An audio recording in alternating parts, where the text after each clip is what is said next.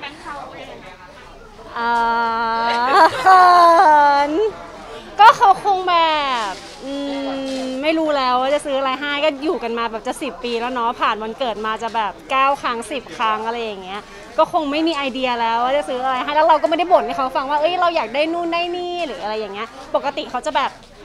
ค่อยๆแอบถามหรือว่าแอบได้ยินว่าแบบคือสมมติบ่นว่าแบบเอ้ยอันนั้นสวยนี้อยากได้แล้วเขาก็จะไปแอบเซอร์ไพรส์มาอะไรอย่างเงี้ย แต่ตอนนี้เราก็ไม่ได้บ่นว่าเราเราอยากจะได้อะไรอยากจะมีอะไรอะไรคงคิดไม่ออกแล้ว ก็เป็นวิธีนี้ซึ่งดี happy นะ happy ค่ะ happy ก็เซอร์ไพรส์เพราะตอนแรกเขาถือช่อดอกไม้มาเราก็หมายว่าวันนี้แบบปีนี้เปลี่ยนแนวแบบเป็นแบบโรแมนติกให้ช่อดอกไม้อะไรอย่างเงี้ย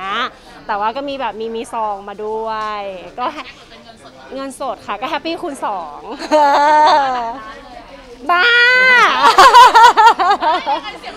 บ้าไม่ถึงค่ะ ไม่ถึงค่ะ อะไรนะคะเก้าหมื่นห้าพันเก้าเล่มแต่ถ้าสูตรพี่พี่เคฟังอยู่แล้วอยากเพิ่มก็เพิ่มได้ทีหลัง เออจะพอใจไหมโอ้ย happy นะคะ happy จริงๆ แค่ได้ช่อดอกไม้แดงก็คือ happy แล้ว อย่างที่เขียนในแคปชั่น แต่พอมีแบงค์เทามาด้วยก็ happy ยิ่งกว่า เออเป็นไงบ้างเกิดปีนี้สามสิบห้าเออสามห้าแป๊บแป๊บเร็วมาก แป๊บแป๊บอยู่ในวงการมาประมาณ 10 ปีแล้วอะไรอย่างเงี้ยก็ก็แต่ว่า เราก็ไม่ได้รู้สึกว่าเราแบบตามอายุนะเราก็ยังรู้สึกว่าเรายัง 25 อยู่อืมแบบเราตอบแทนสามีกลับไปยังไงคะดูแลค่ะ ดูแลปัดกวาดเช็ดถู ดูแลอย่างดีค่ะ จริงๆก็ take care กันทุกวันอยู่แล้ว แต่ คิวพี่พีเคบ้างเลยค่ะ เราเราทำการบ้านหนักอะไรอย่างเงี้ย ก็กดดันอีกแบบหนึ่งนะ เพราะเขาจะเป็นคนแบบที่ว่า อยากได้อะไรเขาก็จะพูดออกมาเลย อยากได้เยอะ อยากได้หลายอย่าง อยากได้ตลอดอะไรอย่างเงี้ยก็ถ้าวิ่งตามเขาก็เหนื่อยหน่อย ก็ต้องแบบตั้งจิตดีๆ แล้วก็เหมือนพิจารณาดีๆว่าแบบเอ้ยแบบซื้ออะไรเซอร์ไพรส์เขาดีหรือซื้ออะไรให้เขาดีอะไรอย่างเงี้ยคิดหรือยังคะว่าปีนี้จะยังไงดีเดี๋ยวค่อยคิดเขาเกิดปลายปีเขาเกิดปลายปีเออยังยังมีเวลาค่ะ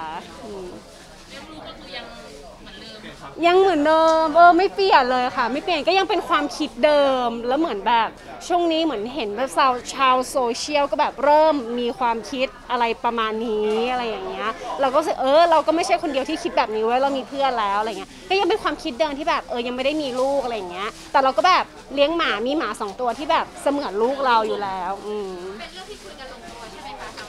สองคนแล้วก็พี่ใช่ค่ะใช่ลงตัวลงตัวมาตั้งแต่ ใช่ก่อนแต่งงานกันก็เหมือน